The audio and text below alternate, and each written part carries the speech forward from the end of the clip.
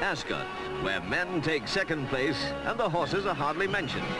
For this is a woman's world, a place of high fashion for My Fair Lady, where cameramen tread softly and commentators rarely need to speak.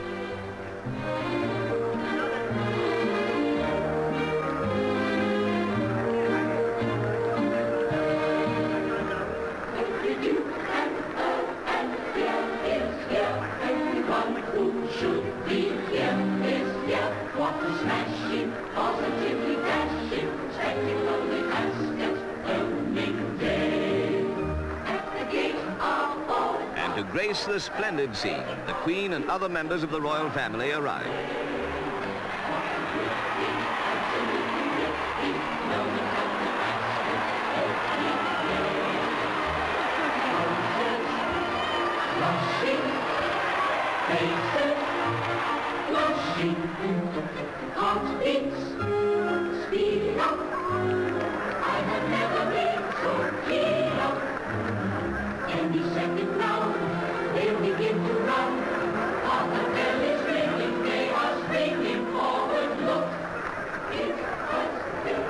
Almost incidental to the scene, the racing.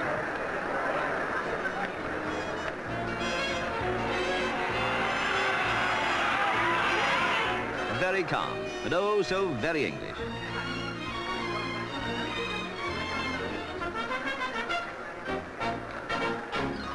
Her Majesty and the Duke of Norfolk made their way to the paddock.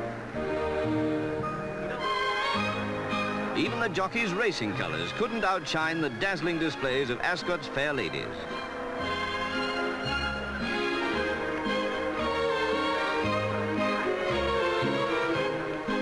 Some really were interested in the racing.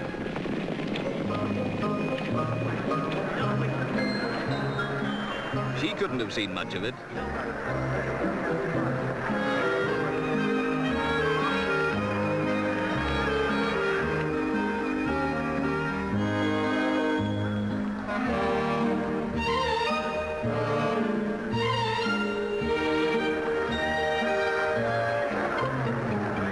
While the lovely ladies paraded, a few noticed that there was also racing, with winners for some, but not all.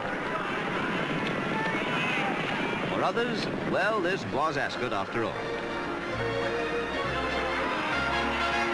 And so the horses ran, the ladies paraded.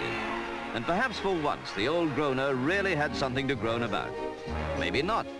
It's hard to be blue at Ascot.